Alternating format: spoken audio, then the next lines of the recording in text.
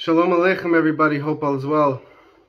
Giving you an update from the Holy Land of Israel. Thank God I'm alive, I'm well. My family, we're all okay. Praise the Lord. And we'll continue to be okay. And God willing, Hashem will sweeten this whole process immediately and give us victory and ultimate victory with the coming of Mashiach. Immediately.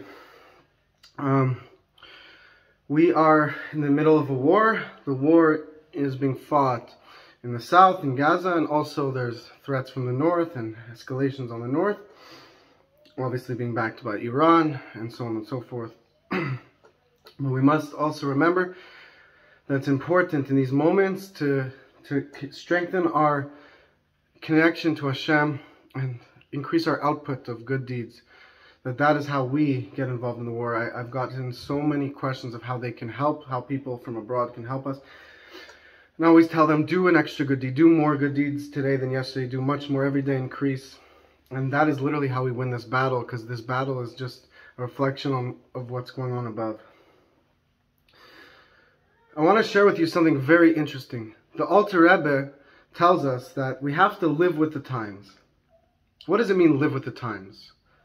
Live with the times means, the Alter Rebbe explains, you have to read the daily Torah portion. Every Torah, every day has a specific Torah portion that's divided to that specific day. In today's Torah portion, we see, interestingly, the word Hamas twice. The word Hamas means robbery and corruption. It's interesting that that's what the word Hamas means in the Torah. And it says, Hashem has seen that there has been evil among the earth and Hamas has filled the land. And then later on, a few uh, verses later, Hashem says he's going to eradicate Hamas from the earth, remove Hamas from the earth.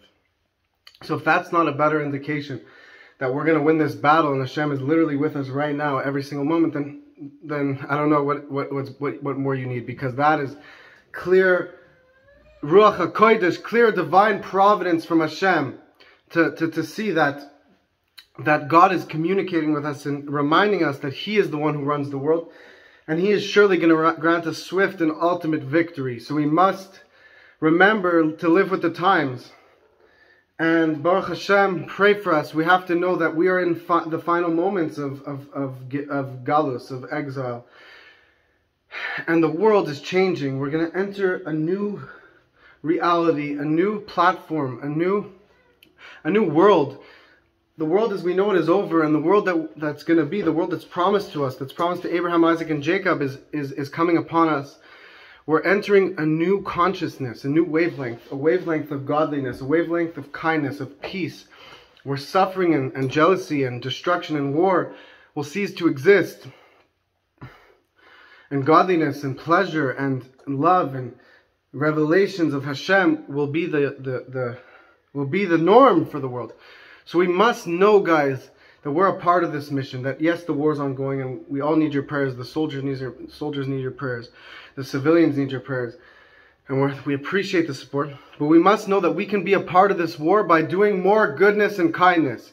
If you're Jew a Jewish man, please put on tefillin every day, except on Shabbos and specific holidays. If you're a Jewish woman, please light, or a Jewish girl, light Shabbos candles every Friday. If you're not Jewish, please follow the seven laws of Noah and spread them to the world. And also every mitzvah that we do is, is helps this war. And if you're not Jewish, it's very important that you try to support the Jewish people, that you don't go against Hashem, because the whole, this is a test for you guys. This is a test for the non-Jewish people if they're going to be back the Jewish people. They're going to support Abraham, Isaac, and Jacob's descendants. Or if God forbid they're going to do the opposite, there's going to be, that's, I don't even want to go there what the punishment for that is.